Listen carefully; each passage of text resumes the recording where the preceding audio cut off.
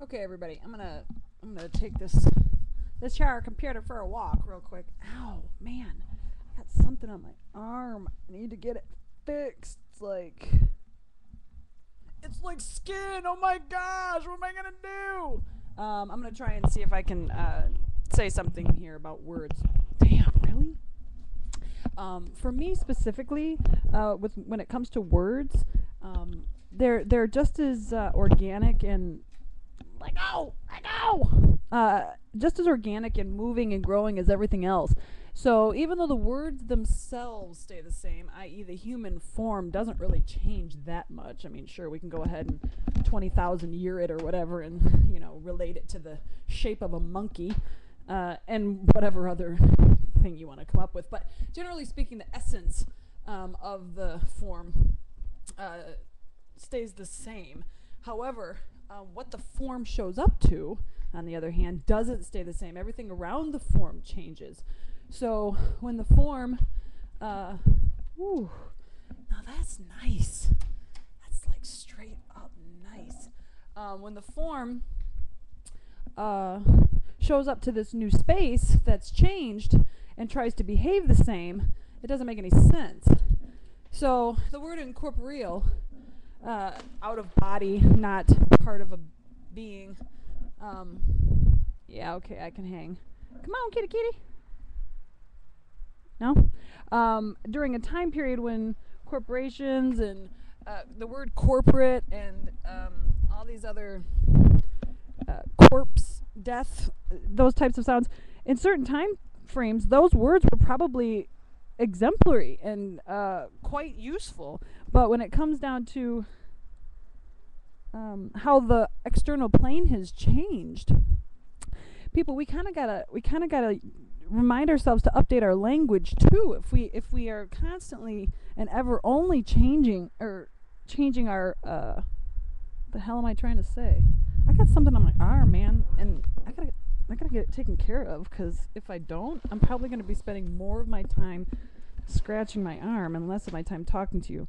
Anyway, so for me, the word incorporeal could be a wonderful word if we took the opportunity to let it be whatever it was supposed to be in whatever time frame, but also recognized for certain time frames that potentially we need to uh, give those words an opportunity to kind of chill out, you know, like not necessarily use them. Find another way, something creative that feels a little less of, uh, ooh, that feels good. yes.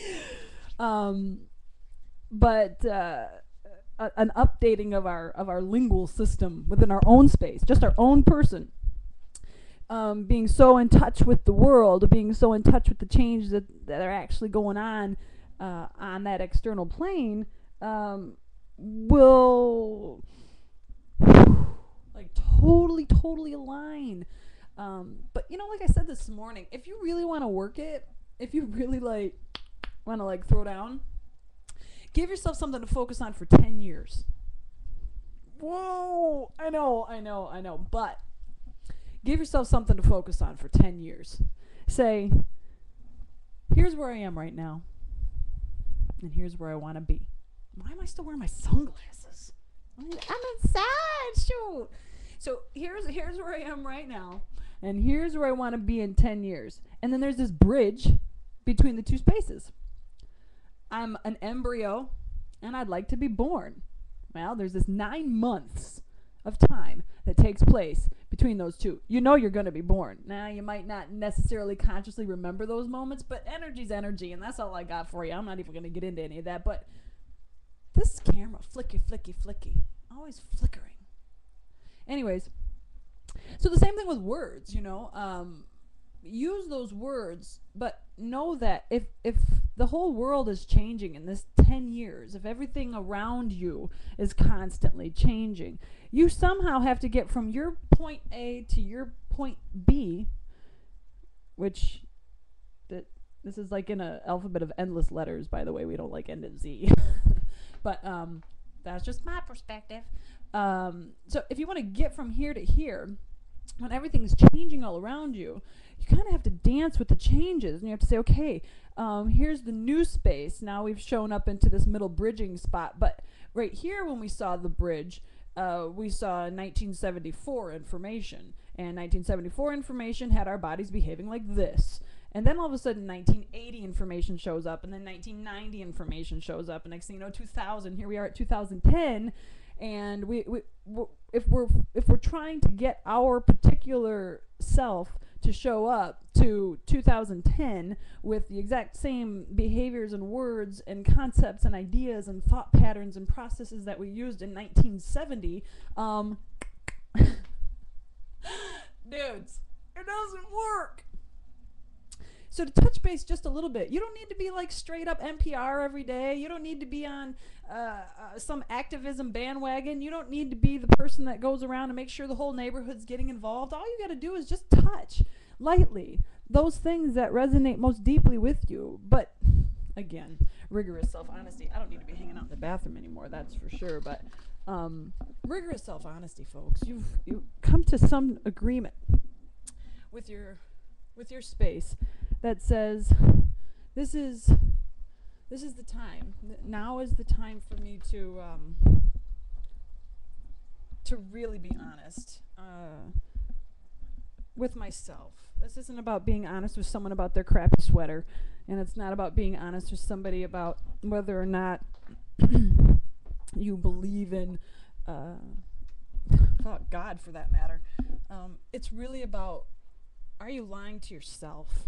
Are you are you not really seeing um, how often you actually lie, dude? Man, when I first decided to stop lying, I remember that um, particular process. I had a nervous, well, I say nervous breakdown.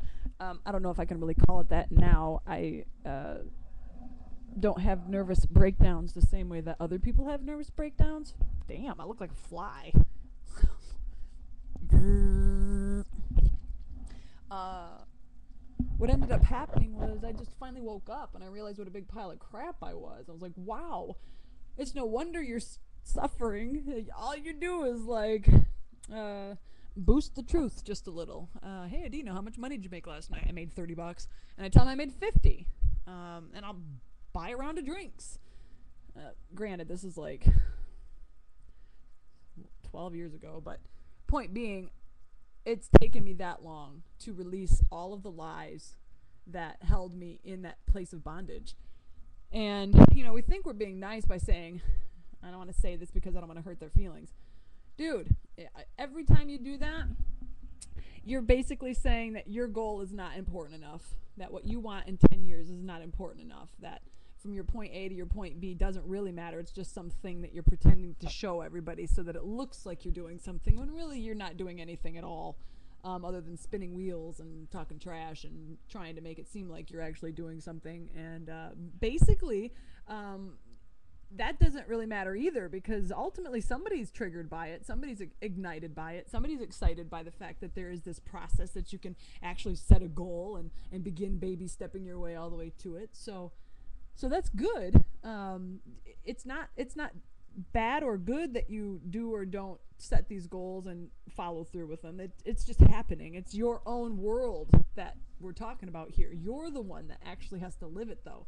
So you actually might be inspiring people, inspiring them to create their own system where they say, uh, "I'm going to start watching myself. I'm going to start really paying attention to me and really putting putting this 10-year plan into into action and and uh, and make it work and get creative with it and um, learn to turn the box upside down every once in a while and go, oh right, I could totally grab the prize right from the top instead of having to dig, dig, dig, dig, dig, dig, dig. There's lots of tricks, people, but you've got to be eager and hungry to find them and want to learn uh, about who you are, just you, nobody else. And yeah, people do get hurt by it. People do um, misinterpret and they they confuse a lot of things. This is why that um, space of metta, that ever loving kindness, uh, that compassionate, uh, open space has to be sort of the fuel behind that. Um, rigorous self honesty and compassion. Truth will find you. you don't need to seek out what's true and what's not true. Uh, truth will find you if if you set a goal um, and you choose to really really put an intense effort into it truth will find you. There's no trick to it. Eh, man you will you will waste all of your time going out to your job to work all day long to make so much money to go out and spend it on a self-help book that doesn't even speak your language each of us has our own dialect every single one of us. There is not one singular language that has more than one person speaking it when it comes to the personal self. That it just is not so. There's one personal language for every single being on the planet and only you speak it. You can get help with it. We can talk back and forth and slowly start to unfold that dialect uh, not because it's not unspeakable uh, but because it's it's part of the process of evolution. It's part of the process of wondering you know how, how do i get to how, where's the bridge between me and this other person?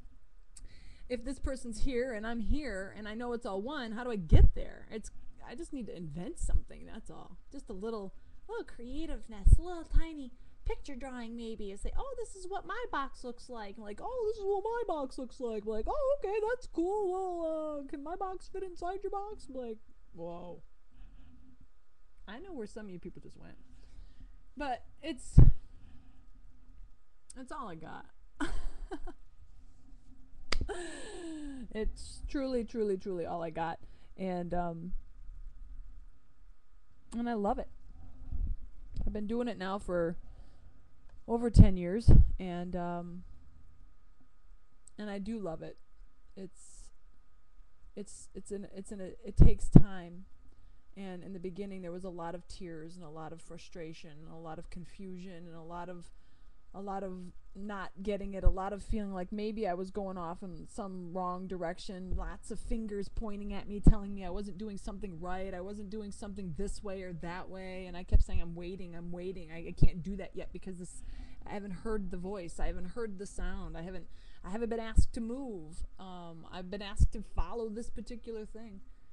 Um, you each have one inside. Everyone has that voice, that their own separate voice. It is not one voice. You yourself have your own specific frequency coming into you, vibrating through you, being with you, learning with you, growing with you, expanding with you. Just you. It's your eagerness to want to get involved with understanding each other that makes the big difference. My eagerness is like, I'm like eager bunny. Please tell me your story. I want to know. You know what I'm saying? It's just, I really, I really just like love, I love the earth. I love uh, that I have manifested some weird thing in my brain that makes me believe that I'm an atom of the earth body. I've turned this earth into an actual body and I'm just sort of you know buzzing around inside of it um, and I do it because I love. And it brought me to truth. And truth is it it's all one. How many times you gonna say that Adena? Forever. Do you understand me? Are you listening? Just kidding you don't have to listen. Yes you do. No you don't. Yes you do. No you don't. You do whatever you want, okay?